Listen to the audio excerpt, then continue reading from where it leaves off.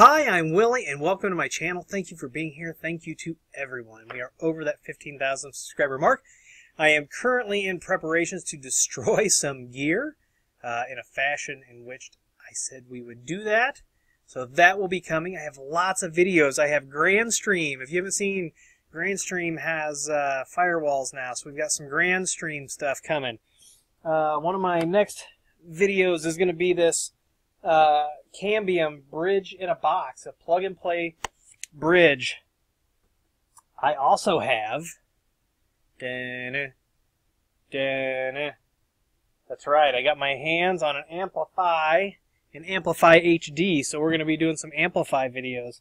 So we're going to amplify your life. But what we're talking about tonight is Facebook Wi Fi check in. All right? So let's go over to our controller. So this is our 5.6.22 controller. We've got Event Horizon. Uh, we've got the Greek word for museum as our switch. And we've got Pro as our access point. And then AC Pro.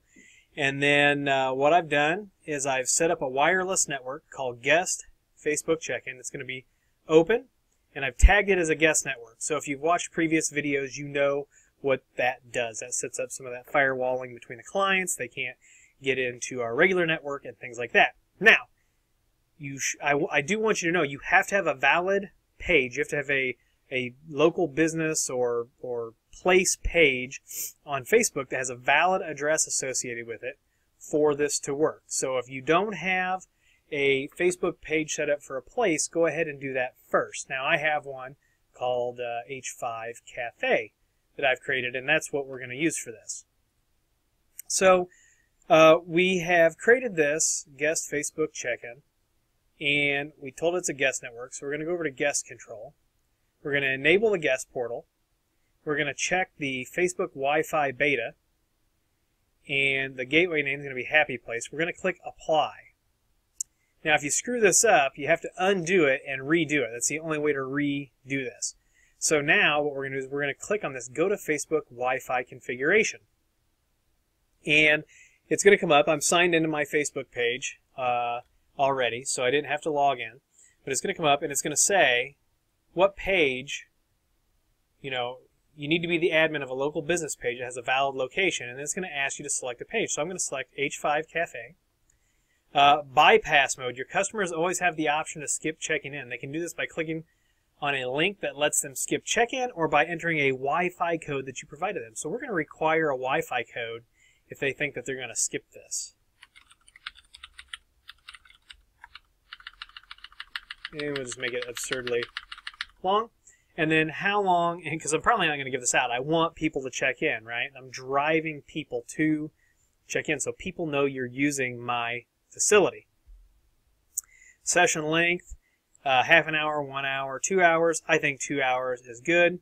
Terms of service, optional. Add your own terms of service. We can do that. We're just going to roll with this. I, I implore you to log into this and play with these settings. But we're going to go ahead and click Save Settings. Your settings have been saved.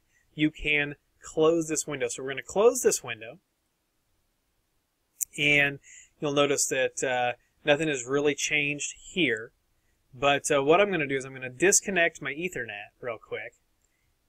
And then we're going to open up the Wi-Fi and we're going to see what happens. Hmm. So let's try that. Okay, I have disabled my Ethernet, so my wireless uh, icon is down here. So we're going to see what connections are available to us. It's thinking about it. And uh, here is guest, guest Facebook check-in. So we're going to go ahead and click that, and we're going to tell it to connect automatically, and we're going to go ahead and connect. And it's going to say connecting, and it's going to check the requirements, and it's going to say, oh, what, what, how do you want to open this app? So we'll just tell it Google Chrome, because we're already in Chrome. And so now we're going to get redirected and here it is. It says H5 Cafe, check in for free internet. Or click use Wi-Fi code instead. So we're going to check in. Who can see it? Our friends. So we're going to click check in. And the process is up, up, and away. And we have we have checked in. So I could jazz this page up a little bit. But now we should be able to go to any other place on the internet. We're going to go to fast.com. This is my favorite new speed test service. This is the Netflix uh, speed test service. Now, I'm getting a mixed bag of results. First of all, this is the Wi-Fi inside my PC. Second of all, the access point is not even pointing towards the PC. It's kind of hanging on this weird thing. But uh, that's it. So if you've got a business and you want to get people, you know, you want people to use Wi-Fi, but you want them to check in, this feature's here. It works really, really, really, really, really easy now. So why not use it? You know, it'll generate some interest. You know, oh, hey, so-and-so was at H5 Cafe. I better go check that out, right? So that's it for this video. If you like the video, please give me a thumbs up. Please subscribe. Please comment and share. Please follow me on Twitter and Instagram. Please use those Amazon affiliate links down below. They don't change your price at all, but they do kick a couple bucks to the channel to keep this lab gear rolling in so I can keep pumping out these videos for you. Uh, if you need consulting, please contact me. And as always, we'll see you in the next video.